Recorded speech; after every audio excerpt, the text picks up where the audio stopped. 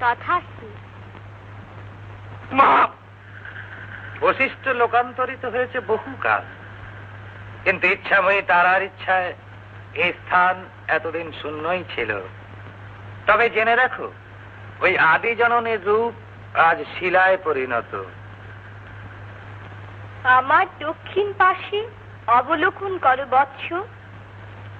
আমার ইচ্ছা তুমি আমার মন্দির নির্মাণ করে নিত্য পূজার আয়োজন করবে। তাতে জগতের মঙ্গল হবে। কিন্তু বৎস এই শিলা ব্রহ্মভূমি মুক্তি তো সকলের দর্শনযোগ্য নয়। তাহলে? তাই তুমি মন্দির নির্মাণ করে শিলা শিলামূর্তি স্থাপন করো। আমি এই মূর্তির উপর আবরণ সৃষ্টি করে দেব। জয় মা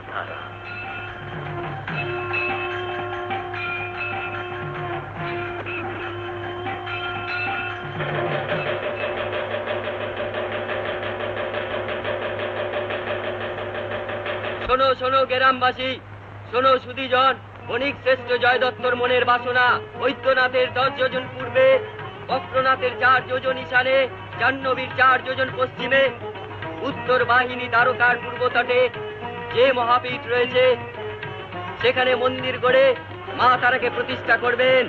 মাত্র এক বছরের সময় মন্দির নির্মাণে সাহায্য করতে সকল গ্রামবাসীকে তিনি আহ্বান করছেন।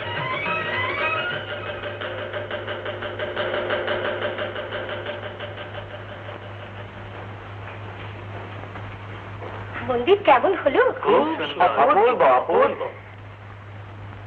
মন্দির তো সম্পূর্ণ হলো। এবার মায়ের অভিষেক? হ্যাঁ বিনোদা। কিন্তু এখনও পর্যন্ত এক পরম ব্রাহ্মণের কোনো সন্ধানই পেলাম না। অথচ আর মাত্র দুদিন বাকি। কাকে দিয়ে এই পবিত্র অনুষ্ঠানে পৌরোহিত্য করাবো? কার হাতে মায়ের সেবা পূজার ভার দিয়ে নিশ্চিন্ত হব? কিচ্ছু চিন্তা করো না গো। মায়ের কাজ, মা নিজেই করিয়ে নেবেন। আমি উগ্র তারা। আমার ভক্ত জয় দত্তর যোগে, জগতের কল্যাণী আমার প্রকাশ হয়েছে। আগামী শুক্লা ত্রয়োদশী ও চতুর্দশী সন্ধিক্ষণে আমার মহাপূজা হবে। তোমার হাতে হবে আমার অভিষেক।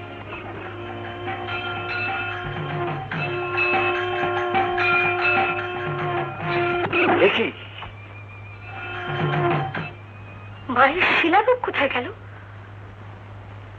মনে পড়েছে মনে পড়েছে বিনোদা। মা বলেছিলেন এই শিলারূপে তিনি সকলের কাছে দর্শনীয় হবেন না নিজেই আবরণ সৃষ্টি করে নেবেন। এই এই সেই আবরণ। মায়ের কি অপূর্ব বুদ্ধি। অপূর্ব রূপ। মা মা। গো। জয় মা তারা। জয় মা তারা। জয় মা তারা। বণিক শ্রেষ্ঠ জয় দত্ত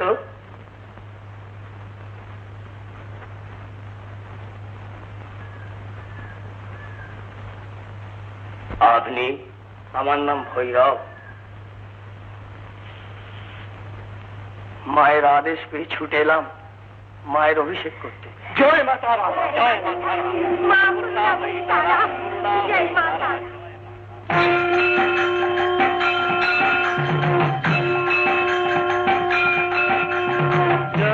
তারা তারা জয় মা, তারা জয় মা, তারা জয় মা, জয়। তারা তারা নামে মা তোরা সদি তারা তারাময়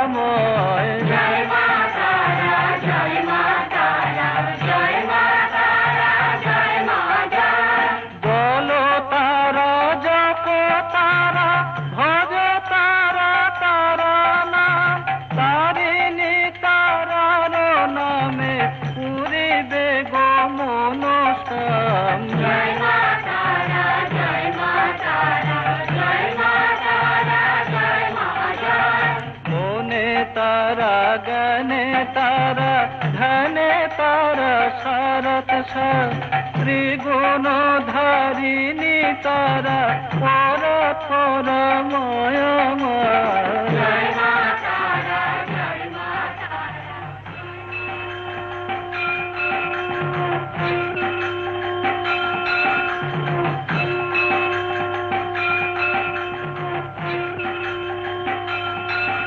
জয় দত্তের পর কেটে যায় কয়েক শতাব্দী। শ্রী শ্রী তারামার মাহাত্ম্য আলোকের মতো প্রচার হতে থাকে। দিন যায়, মাস যায়, বছরও যায়।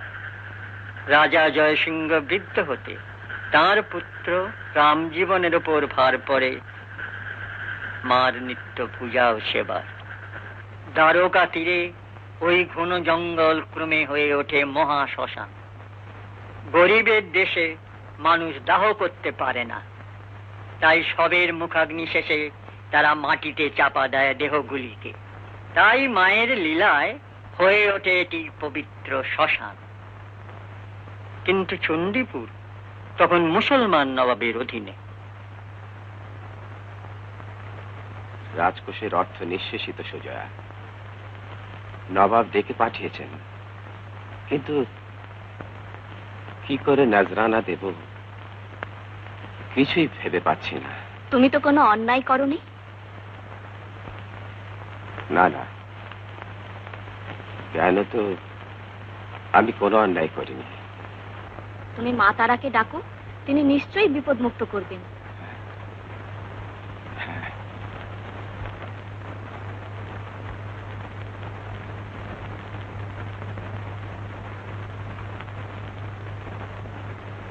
শোনো, আমার মন বলছে, তুমি নবাব দরবারে সত্য কথাই বলবে। বেশ। যা সত্য আমি তাই বলব। রাজা রামজীবন তিন সানের নজরানা বাবদ তিন লক্ষ টাকা আপনি তছরূপ করেছেন। কথা সত্য? এই সম্পূর্ণ মিথ্যা রটনা। ঢেকা গ্রামে প্রজাদের খুবই জলকষ্ট হচ্ছিল। তাই এক লক্ষ টঙ্কা ব্যয় করে গড়েছি ওই বিরাট সরোবর। দ্বিতীয় কথা কলেশ্বরের মন্দির যা গঠন করেছি তা বাবা কলেশ্বরের মাহাত্ম প্রচারের জন্যই। আরও এক লক্ষ টাকা খরচ করে মন্দির তৈরি করেছেন শুনলাম। যথার্থই শুনেছেন নবাব বাহাদুর। ওদের ওই তারামায়ের মন্দির যা নদীর ধার থেকে তুলে নিয়ে ওপরে প্রতিষ্ঠা করেছেন তার জন্য বলছেন নগদ এক লক্ষ টঙ্কা খরচা। পুষ্করিণী তো এক লক্ষ। তারপর আবার হলো গিয়ে আপনার ওই কলেশ্বর মন্দির নির্মাণও এক লক্ষ আবার তারামার মন্দির নির্মাণও এক লক্ষ। দেশের রাজা যদি এমন হয় তবে তো নবাব বাহাদুরের উচিত তাকে যোগ্য শাস্তি প্রদান করা। আমারও তাই বক্তব্য নবাব বাহাদুর। রাজা রামজীবন অসৎ। থামো। তোমার নালিশ শুনেই আমার কেমন সন্দেহ হয়েছিল। তাই গোপনে আমি এদের খবর আনতে পাঠিয়েছিলাম। আমি জানতাম রাজা রামজীবন কখনো অসৎ হতে পারেন না। তার মতন প্রজাবৎসল রাজা সত্যই দুর্লভ। রাজা রামজীবন আপনি মুক্ত। আর আপনার তিন বছরের নজরানা আমি মুকুব করে দিলাম। ওই রত্নেশ্বর আগে আমার বিচারে রাজা রামজীবনের অসৎ প্রজা হিসেবে তোমাকে দণ্ড দেওয়া আমার অবশ্য কর্তব্য। তোমাকে আমি দুশো ঘা বেত মারার আদেশ দিলাম। জনাব মরে যাব জনাব মরে যাব। ওকে প্রকাশ্য রাজপথে দুশো ঘা বেত মেরে ছেড়ে দেবে। জানিয়ে যাও। জনাব মরে যাব। রাজা শুনেছি মহাশ্মশান জুড়ে বহু তান্ত্রিক এসছে। এখানে তপস্যা করছেন? হ্যাঁ সুজয়া। এই মহাপীঠকে তন্ত্র সাধনার উপযুক্ত ক্ষেত্র বলেই বহু গুণীজনেরা বিধান দিয়েছেন। তাই মা তারার বিধান মনে করেই আমি অনুমতি দিয়েছি। আর এও শুনেছি যে আজ বহু প্রজাই মা তারার পূজায় ব্রতী হয়েছে। হ্যাঁ তাই মা তারার পূজা আজ প্রতি ঘরে ঘরে। হ্যাঁ, তোর ভাইয়ের মধ্যে একটা মোহর দেখলুম যে। হ্যাঁ, কই আমায় বলিস নি তা?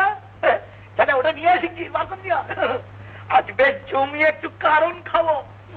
ওমা সে কি গো? হ্যাঁ? ও মোহর দিতে মাতারা পুজো দেবো চতুর্দশীতে? হ্যাঁ। না না ও মোহর আমি দেবো না। মাতারা রুষ্ট হবে। কি গো? মাতারার ইচ্ছে সব হয়। তিনি ইচ্ছে করলে কত মোহর পেয়ে যাব? সত্যি সরি ওই মাতারা মোহর দেবে। আচ্ছা এই ভুলুকে তোর মাতারা ভাল্লুক করে দিতে পারে? কি রে?